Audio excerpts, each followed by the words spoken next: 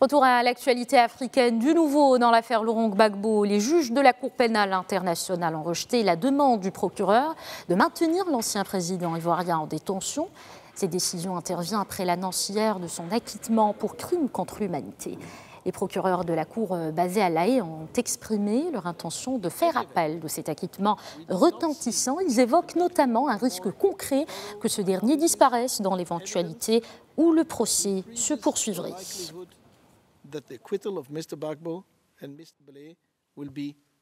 Et pour mieux cerner l'affaire Laurent Gbagbo, j'ai le plaisir d'accueillir sur le plateau Eric euh, Nindou. Vous êtes euh, directeur de la rédaction Afrique de Médias TV. Bonsoir et bienvenue. Bonsoir Manel. D'abord, que va-t-il se passer dans la procédure de la Cour pénale internationale dans l'affaire euh, Laurent Gbagbo? Ben, Comme vous venez de le dire Manel, donc, les juges de la Cour pénale ont acquitté Laurent Gbagbo et Blégoudé, son colistier. Ça, c'était hier, mardi donc 15 janvier. Aujourd'hui, comme les procureurs devaient plaider pour euh, justement un appel et surtout pour la question concernant la libération éventuelle. Parce qu'il faut se, rappeler dans la décision des juges, donnée ce mardi, ils disaient ils sont acquittés des accusations de crimes contre l'humanité, mais également il faut ordonner leur libération immédiate. Donc, ce qu'ont fait les procureurs, c'est directement faire appel pour essayer de les maintenir en prison et dans les jours suivants, ou peut-être les semaines suivantes, on va examiner dans le fond, en ce qui concerne, est-ce qu'il y a-t-il des éléments nouveaux pour pouvoir faire un procès en appel? Mais à l'heure actuelle des choses, ce qui se passe, c'est que les juges ont rejeté donc ce mercredi l'appel des procureurs en ce qui concerne la mise en libération des deux prévenus. Et donc les prévenus devraient être libérés, Laurent Gbagbo et Blégoudé devraient être libérés, peut-être dans les prochaines heures, peut-être demain, peut-être euh, la semaine prochaine. En tout cas, une chose est certaine, rien n'empêche plus Laurent Gbagbo et Blégoudé d'être libres. Après, quant à savoir s'ils rentreront en Côte d'Ivoire, c'est une autre question. Alors, euh, Eric, on le sait, Laurent Gbagbo, c'est un ex, un chef d'État. Aujourd'hui, quelles seront les conséquences de ces décisions de la Cour pénale internationale sur la scène politique ivoirienne? Elles seront énormes. Comme vous l'avez dit, Manel, c'est un ex-chef d'État, c'est quelqu'un qui a dirigé le pays d'abord durant dix ans, et puis c'est quelqu'un qui a surtout euh, encore une assise politique en Côte d'Ivoire. Mais il ne faut pas non plus ni minimiser ni exagérer euh, l'impact de Laurent. On a vu des scènes de liesse euh, populaires à Abidjan et dans d'autres régions de la Côte d'Ivoire. C'est normal, il faut rappeler que ça fait huit ans que Laurent Gbagbo est sorti du champ politique, physiquement du champ politique ivoirien, puisqu'il était arrêté à la CPI, cinq ans de procédure, trois ans de procès qui ont abouti donc à cette décision d'acquittement.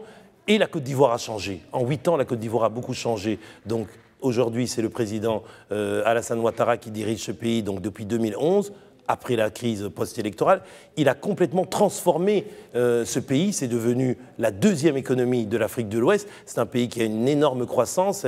La croissance cette année euh, frise presque les 5%. C'est un pays qui est dynamique, qui attire beaucoup d'investissements. Et donc, les Ivoiriens ont beaucoup à perdre à retomber dans une crise. Pourquoi? Parce que certains se disent, on pourrait l'année prochaine, en 2020, lors des élections présidentielles, rejouer le match de 2010, c'est-à-dire un affrontement Bagbo-Ouattara. Ce sera d'abord impossible parce que la Constitution interdit au président actuel, Alassane Ouattara, de se représenter, c'est-à-dire de faire un troisième mandat. Il a été élu en 2010, réélu en 2015.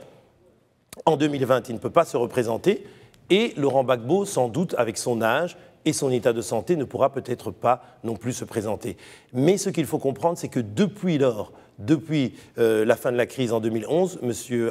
Alassane Ouattara a impulsé tout un processus, non seulement de transformation du pays, mais aussi un processus de réconciliation nationale. Parce que c'est ça le plus important. D'ailleurs, en août dernier, c'est-à-dire en août 2008, euh, le président Ouattara avait fait une amnistie, un décret présidentiel amnistiant près de 600 personnes euh, dont beaucoup avaient été justement impliqués dans cette crise post-électorale 2010-2011 et notamment Madame Simone Bagbo, qui était l'ex-première dame et alliée euh, euh, de la première heure du président Bagbo. Donc ce qu'on peut espérer, il y aura bien sûr bouleversement dans le paysage politique ivoirien, mais l'essentiel, c'est que les Ivoiriens comprennent qu'il faut aller vers la réconciliation, cette réconciliation qui est entamée et qui doit se consolider pour que la paix revienne et que les Ivoiriens puissent profiter justement de la croissance actuelle de leur pays. Alors Eric, en Indo, nous avons euh, parlé des éventuelles euh, conséquences donc, de cette décision de la Cour pénale internationale euh, sur la scène politique ivoirienne. Qu'en est-il maintenant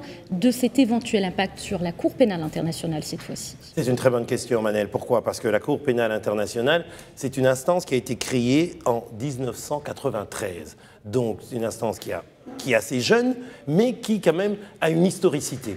Et aujourd'hui, on se rend compte que cette Cour pénale internationale fait en fait l'objet de nombreuses critiques, notamment des pays africains qui l'ont souvent critiqué de ne s'attaquer qu'à des dirigeants africains, qu'à des euh, chefs rebelles africains, alors que ce n'est pas tout à fait vrai, parce que la Cour pénale s'est aussi intéressée au cas de la crise dans l'ex-Yougoslavie, elle s'intéresse aussi à des cas euh, qui sont instruits au niveau de, la guerre en Afghanistan et peut-être ailleurs, mais dès le départ, si on peut dire, la Cour pénale euh, a été euh, créée sur des bases qui n'étaient pas très solides. Pourquoi? Parce que c'est un, un, organe qui dépend des Nations Unies, notamment du Conseil de sécurité des Nations Unies, organe qui a bien sûr cinq pays qui sont membres permanents, mais vous savez que parmi ces cinq pays membres permanents des Nations Unies, il y en a trois qui n'ont même pas signé ce qu'on appelle le traité de Rome qui a institué la Cour pénale internationale. Les États-Unis, la Chine et la Russie ne veulent pas entendre parler de la Cour pénale internationale. Seule la France et le Royaume-Uni en font partie. Donc vous voyez déjà qu'il y a certaines faiblesses. Et puis on a beaucoup critiqué cette Cour d'avoir des instructions d'avoir une action qui est orientée politiquement. C'était surtout dû à son ancien procureur, M. Euh, Ocampo, qui lui faisait beaucoup de tapage médiatique quand il instruisait des dossiers.